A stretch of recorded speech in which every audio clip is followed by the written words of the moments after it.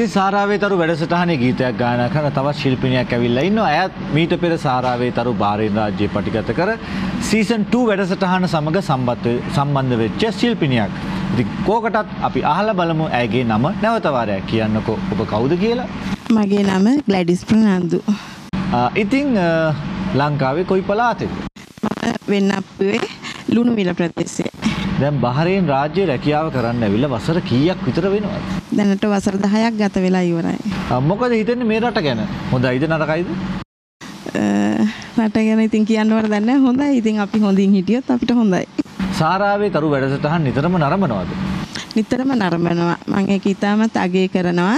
ඒ කියන්නේ මේ දවස්වල කුවේට් වල තියෙන සහරාවේ තරු ඩුබයි, ඔමාන් ඒ හැම වැඩසටහනක්ම බලලා තියෙනවා. ඉතාමත් ලස්සනයි. ආධුනිකයින් ඉදිරියට ගෙනියන්න පුළුවන්.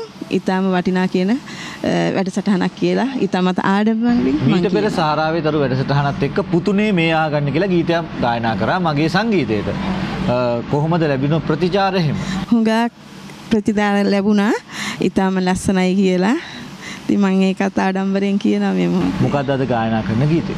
සුජාතා අත්තනායක මහත්මියගේ රන්තර පොන්සඳ කියන ගීතය. මං හිතන්නේ ඊටමත් මියුරු ගීතයක්. ඉතින් අපි අහලා බලමු. ඇයගේ හැකියාවන් දක්ෂතාවයන් නැවත වාරයක් කෙසේද කියලා.